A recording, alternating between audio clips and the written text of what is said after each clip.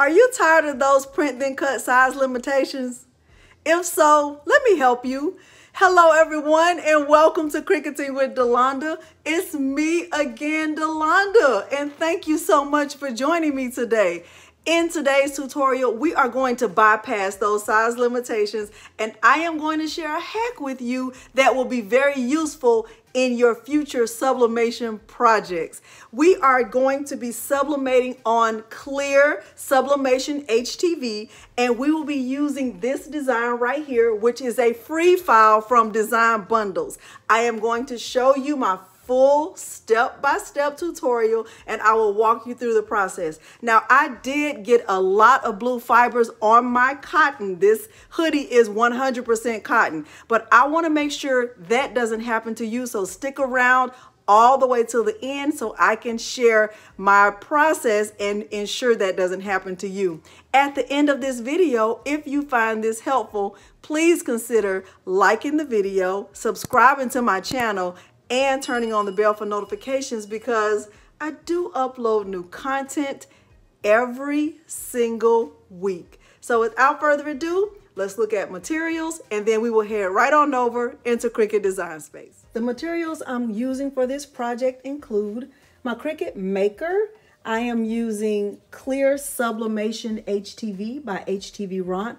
I am using the glossy version of this. There is a matte or glossy. Either one of them would work for this project. I'm using several green standard grip mats. I'll use my Pen Pen weeding tool. I am using Cricut Everyday Iron-On. I'm actually going to use the red and the black. I'm using a few sheets of butcher paper, Cricut heat resistant tape. I'm using HTV Ront sublimation paper and I will use a lint roller. I'm also using a 100% cotton hoodie that I purchased locally. It is a Gildan heavy blend, 100% um, cotton hoodie, okay? And my heat press is a StarCraft clamshell heat press 15 by 15 that I purchased from 143 Vinyl and my printer is an Epson EcoTank 2760 that I converted for use with sublimation ink. The ink that I use is Hiipoo Sublimation Ink.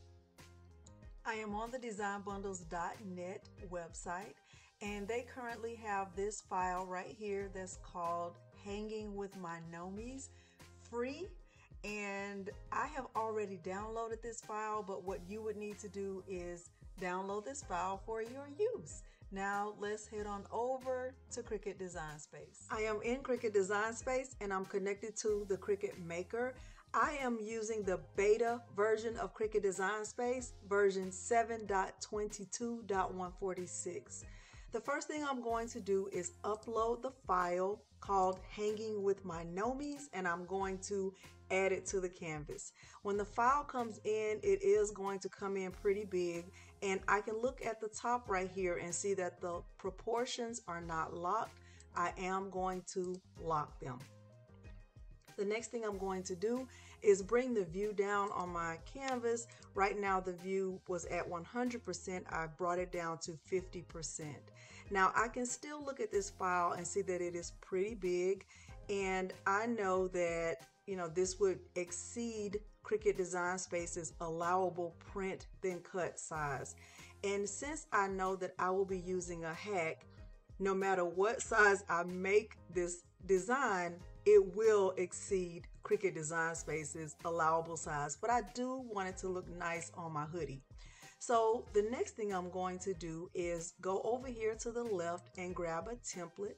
And I am going to grab a template for a hoodie. So I want to click on hoodies right here. And I know that templates don't actually get cut out. They just give you view of what the design will look like on your fabric or on your shirt or your hoodie in this case. So I am going to actually change the size of this hoodie. I'm going to change it to a men's classic and the size of the hoodie is a large. Now this represents the hoodie that I'll be using for this tutorial and this will work perfectly.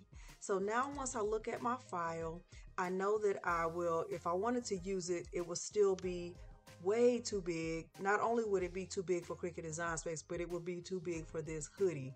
So I am going to bring this down just a little bit because the way I'm envisioning this, I kind of want these gnomes, and I'm only really paying attention to the gnomes at this point.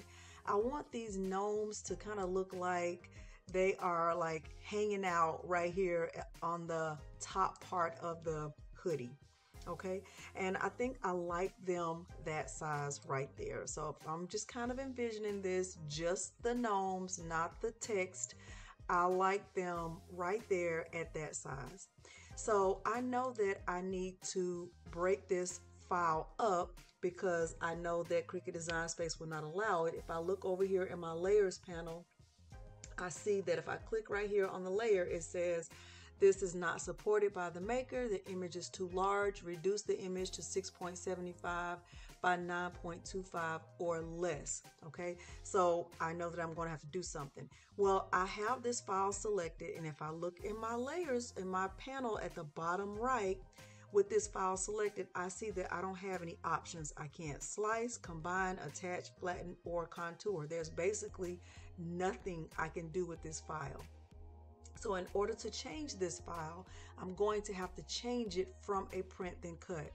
But I also know that I want to keep this as a print then cut just for reference, okay? So what I'm going to do with this file is I am going to duplicate it, okay? And I am going to move my duplicate over here just for now. Now, once again, with this file in the format that it's in, there is nothing I can do with it. I am going to have to change this file from a print then cut actually to a basic cut. Okay, so when I did that by changing this file from a print then cut right here to a basic cut over here, I did not change the size. So these two files are still the exact same size, but I know that I'm working with something different right here. Once I look down here in my options, I now see that I have the option to contour this.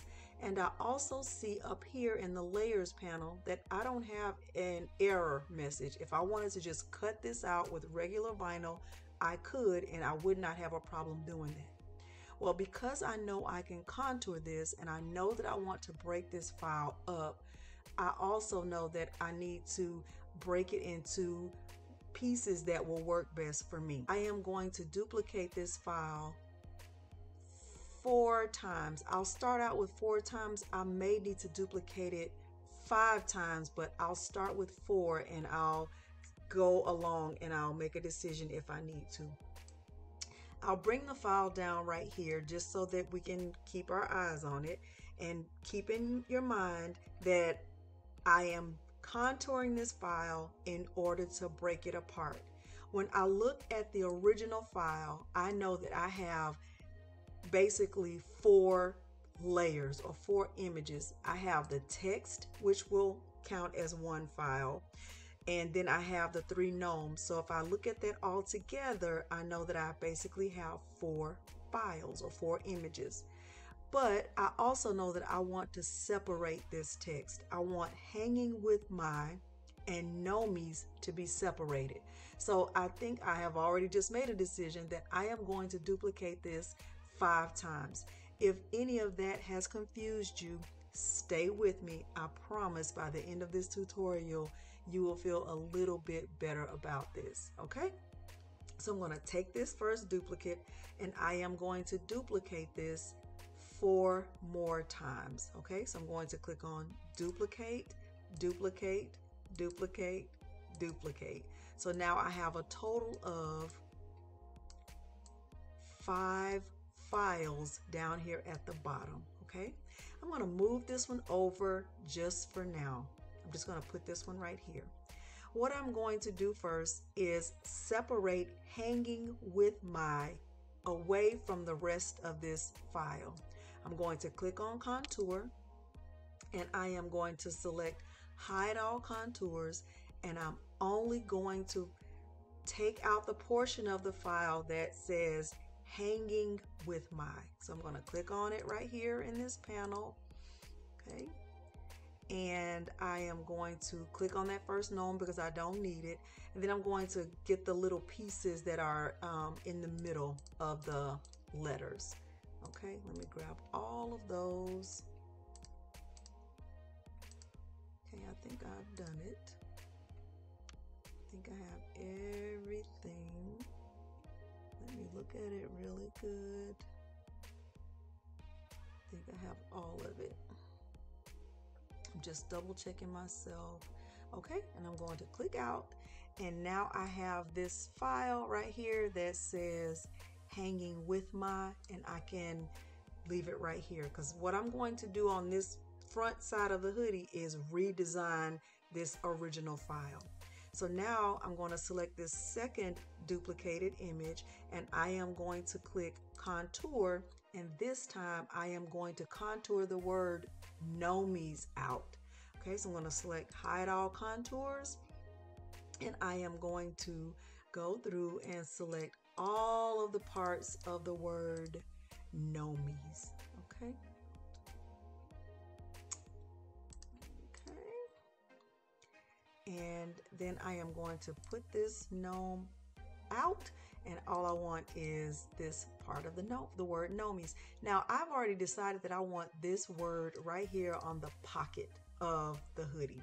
So far I'm loving the way this looks and I know that I probably want this word hanging with or these words hanging with my just to be a little bit smaller because I want them to I don't want it to be just too doing too much. And if I change my mind, I'll fix it later. Okay, so the next thing I know that I want is I want to um, separate these gnomes. Okay, so what I'm going to do, I want to have one image of the gnomes separated, and then I want to have the three gnomes together. But I'll do the separated image first. So I'm going to click on the file, I'm going to click contour, and I'm going to select that first gnome. I'm going to separate this gnome from the other gnomes and the words. So I'm going to select hide all contours and look, that's what I want is just that first gnome, okay? I'm going to do the same thing here. This time I want the gnome that's in the middle. Okay, I'm going to click contour and I'm going to select hide all contours. I'm going to select the gnome that's in the middle and I'm going to remove the gnome that I already have. Okay, so I'm going to move this gnome up here. Perfect. All right, and the last thing I'm going to do, I want to duplicate this one more time just to have it over here, just in case I need it and I won't have to start all the way over. Okay, I'm going to select that third gnome, the one that's standing right here with his hands up, and I am going to click contour and I am going to select hide all contours and I am going to select that gnome and I'm going to remove the first one and I'm going to just choose it right here. Okay, I, I contoured the file that was at the top. All right, so this looks great. This looks excellent. Now, I have the gnomes, you know, pretty almost where I want them, relatively speaking. However, I am going to contour this image and let me tell you why I want to do that. Well, you'll see in one second.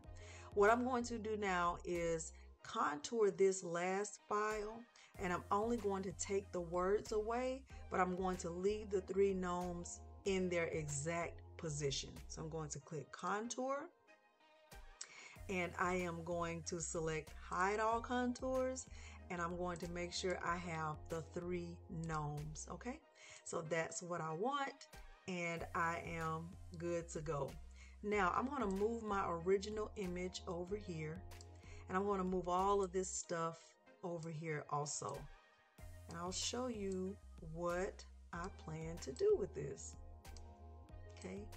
Now at the in the intro what i explained is that we would be sublimating on clear htv what i'm going to do is use this image of the three gnomes as my layer of clear htv Okay, so these gnomes will be in the exact spot I want them to be in. It will be easy to cut them. It will be easy to keep them together. It will be easy to press that layer. This layer of my image or my project will be my black layer of HTV. I'm going to put that right here. That string won't be in that exact spot, so I like it just the way that it is. And because I know this is going to be black vinyl, I'm going to go ahead and change this to black so we can get a good view of what this is going to look like once it all comes together. This layer of my file will be red HTV and I know that I want this right here on the bottom of my hoodie. I am going to change the color of this to red. Stay with me. So I have my black HTV right here hanging with my, I have my gray layer which will represent the clear HTV. And then I have my red layer of HTV. So everything on the bottom will be black.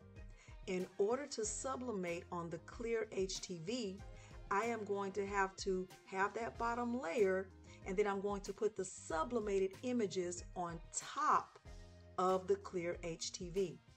Now because I made duplicates and they are individual, I have now made it possible to bypass Cricut Design Space's allowable print then cut size. So what I'm going to do is take this first gnome, which matches the gnome right here, and I am going to change it back to a print then cut, and I'm going to click right here, and I'm going to restore this image. And what I'm going to do is put this here when it's time for me to sublimate. Okay, I'm going to do the same thing with this one. I'm going to take this image of the gnome. I'm going to change it back from a basic cut. I'm going to change it to a print then cut.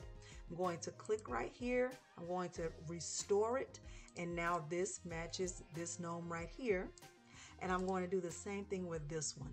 I'm going to change it from a basic cut back to a print then cut. And I am going to click right here to the right and I'm going to restore it. I'm going to move it up and it should fit right here perfectly. Now I love the way this looks all together. I have broken my file apart. I have bypassed Cricut Design Space's allowable print then cut size and I am going to have a hoodie that looks excellent. I love this already. Now this was my original image and this would have looked nice. However, I like the way I changed it over here. So now I don't need this image anymore. I can save it if I want to, or I can just turn it off right here. And what I better go ahead and do is save my project. Okay, I'm gonna go ahead and click save and I am going to call this Gnome Hoodie. I'm to click save. Now, once I click make it, what should happen is that I should have, oh, let's see, one, two, three, four, five. I should have six mats. I should have three print then cut images, which will be these gnomes. They will cut individually.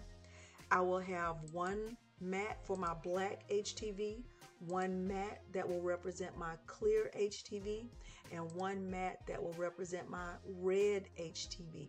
Okay, so once I click make it, let's see what happens. Okay, so I have my first gnome right here. I am going to mirror this. I have my second gnome and I am going to mirror this.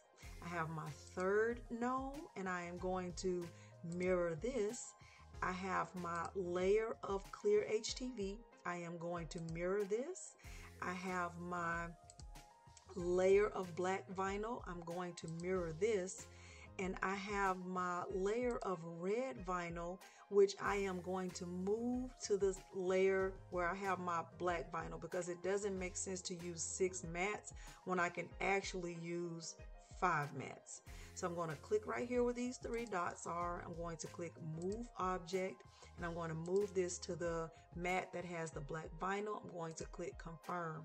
Once I do that, I am going to move this down. I'll just move it to right here at the six inch mark and I will make sure that my black HTV and my red HTV are separated and I'll know exactly where to place the vinyl on the mat. I'm going to click continue. I am going to work with my printed images first. I am going to work with my first gnome. I'm going to send it to the printer. I am sending this to my Epson EcoTank 2760. I'm going to keep the add bleed on and I am going to use system dialog. I'm going to click print. I am going to select preferences I am not going to mirror this because I've already mirrored it in Cricut Design Space. So if I were to mirror here, they would cancel each other out. So I'm not going to mirror the gnomes in my printer settings.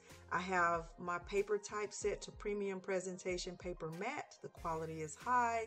Um, I am going to do a print preview. I'm going to click OK and I am going to click print. Okay this is exactly how my printed image should look. I will get all three of my gnomes printed and I will do that back on the camera. My printer is an Epson EcoTank 2760 and the paper that I'm using is HTV Ront sublimation paper. So I'm going to get the paper inserted into the printer and I will get all three gnomes printed out and I will speed this part up.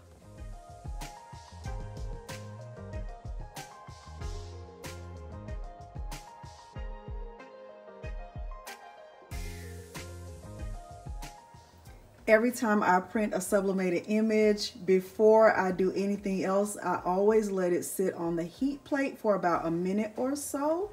And that just ensures that the ink is dry.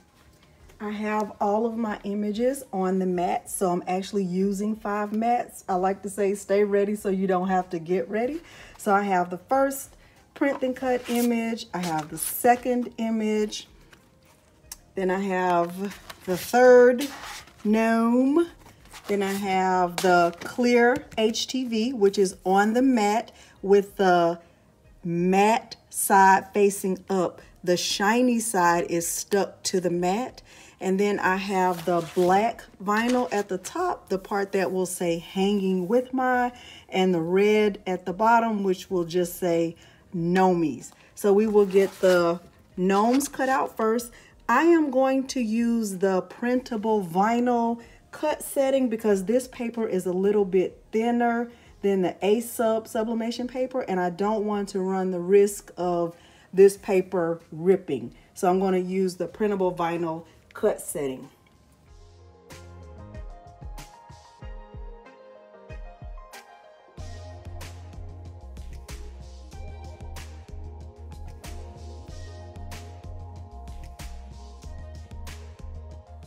With the clear HTV Ront Sublimation HTV, I changed the cut setting to everyday iron on and I'm using more pressure. Once again, the matte side is facing up and the shiny side is on the mat. So if you're gonna be using this, the matte side is up, the shiny side is down.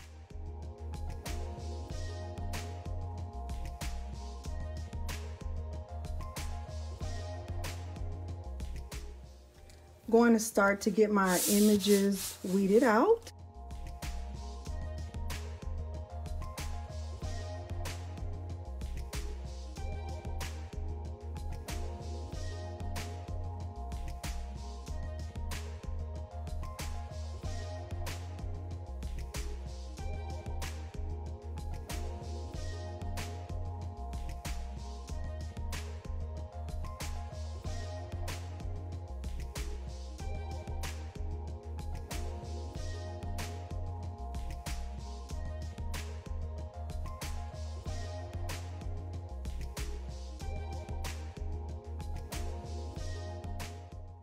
Now, even though I have used the HTV Ront Clear Sublimation HTV multiple times, I still refer to the instructions while I'm using it because I don't feel like I'm an expert just yet. The first thing it says is to heat the heat press up to 200 degrees Celsius. That is equivalent to 392 degrees Fahrenheit. So I have my heat press set to 392 degrees. I am going to do a quick pre-press on the hoodie for about five seconds. And we will keep going with this process, okay? That was a little bit more than five seconds, but it's okay. All right, the next thing I'm going to do is I am going to get the clear sublimation HTV and I am going to put it far enough down that it the gnomes are actually sitting on the like right above the pocket.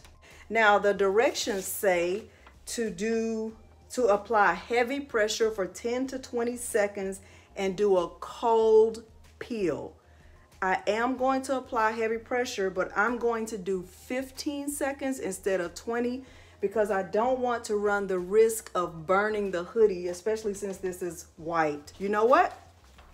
I forgot to do my lint roll. So glad I just thought about that because you did not remind me. I forgive you. I am going to lint roll this because if I don't, those little blue fibers would have been pretty much everywhere. Lint roll even in the places where you don't think you will be pressing just in case, okay? Now I am going to press my gnomes. I'm just gonna put them right down here on the pocket because that's where they will be hanging out. Okay, that, I think that looks, I'm gonna put my Teflon sheet on top and I'm going to press this on 392 degrees for 15 seconds. Okay. Now, this, according to HTV Ront, it says to do a cold peel, not a cool peel, not a warm peel. Okay, so I'm gonna remove this from my heat press. I am just gonna fan this and wave it. I think for some people who get the image stuck to the clear um, sublimation HTV, it happens because you don't let it cool off enough, um, but you can still peel it away at some point. Um, but my suggestion is to do a cold peel. So I'm gonna let this completely cool down before I move on to the next step. Okay, it has cooled down. And while this was cooling down, I did increase the time on the heat press because the next step says set the heat press to 200 degrees Celsius, which is 392 degrees Fahrenheit. Apply heavy pressure for 40 to 50 seconds and then do a warm peel. So I want to peel this off. And I'm going to be honest and tell you right here that this clear sublimation HTV is hard to see on white fabric. All right. Take my first gnome and peel them away from the mat very carefully, making sure not to rip it because this paper is super thin. But this is my first gnome. Look how cute he is. Look how cute. Okay, so I am going to place him carefully on top of the one that looks just like him and I am going to tape it down. But I gotta be super careful doing this. And it might even be easier to do this away from the heat press. I think I'm going to do that. I think I'm gonna do that. Let me move you over here. I'm gonna remove this from the heat press and put it on my table and get this tape down. I have the image taped down as good as I can, all three gnomes. Hopefully you can see that. I tape, tape, tape, tape, tape. I may have used too much tape, but I don't know if there's really such a thing. What I am going to do is put some butcher paper on the inside of the hoodie to make sure that none of the ink goes through, even though I feel like it won't because the gnomes are not directly on the hoodie. They're actually on top of the clear HTV. But just in case, I am going to put butcher paper inside. I'm going to add one more piece of tape because I'm the queen of over tapers anonymous, except I'm not anonymous. I am going to put butcher paper on top of this and we will get this pressed 392 degrees Fahrenheit for 50 seconds with heavy pressure. It's beeping. I'm nervous. Ooh, I'm nervous. Okay, so I see a lot of blue fibers, which I'm not very happy about that, but I guess I did not do a good enough job of lint rolling down here. That's why it's important to lint roll everywhere. Um, so I'll make sure to do a better job of that. I am confident that it's sublimated though because I can see it through the paper. So let's start to peel it back. Let me move you in closer so you can get a good look at it.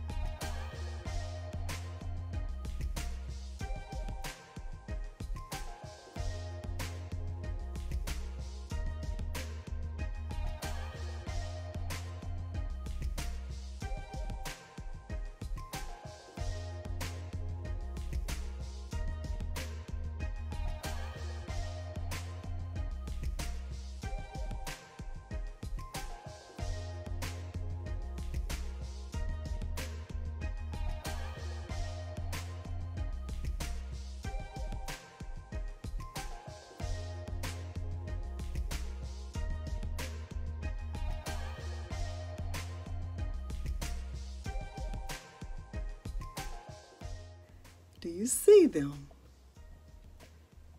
Okay. I'm so excited. So I can take that paper out, but this is how they look so far. Look at that. Look how cute. All right, my heat press is set to 315 degrees for 30 seconds. I'm using Cricut Everyday Iron On in red, and I am going to place this just right here on the pocket and I'll just line it up right there with the pocket. I am going to put, I have butcher paper inside the hoodie and I'm going to put butcher paper back on top. So I'm okay to press this again. And I am going to press my, my gnome, my HTV. So I'm going to put Teflon on top. I want to press that for 30 seconds. It's beeping. All right, Cricut's vinyl is a cool peel. This looks excellent. I'm excited. I am just going to move it down and I'm going to press this part of my file hanging with my. So I'm going to put the butcher paper back on top. Just to be sure. And I'm going to put the Teflon on top of that. And we will press this 315 for 30 seconds. It's beeping. All right, we are almost finished. We're at the final stretch. The final countdown. Okay. Now let's reveal it. This is my red and this is my black and this is the finished product and what am I going to say? I love it. I love it. I love it. I love I love it. I love how it came out. Even with all of the blue fibers, I am in love with this. I love the glossy effect. I do love the matte also, but I love the glossy. I feel like it adds a little bit of something to it. I'm so excited with how this came out. Did this take a little bit long? Yes. Would it probably take this long next time? Also, yes. I did get a lot of blue fibers. I did not do a good job of lint rolling as good as I thought I did, but I am very impressed with how the colors came out. I definitely would try to do this again. I've used clear sublimation HTV multiple times. I probably would have made this a little bit bigger, but you can personalize it the way you want. Remember, this is a free file that is available from the designbundles.net website. If you found this tutorial helpful, please consider liking the video, subscribing to my channel, and turning on the bell for notifications because I do upload new content every single week. Thank you so much for joining me today and thanks for watching. Bye.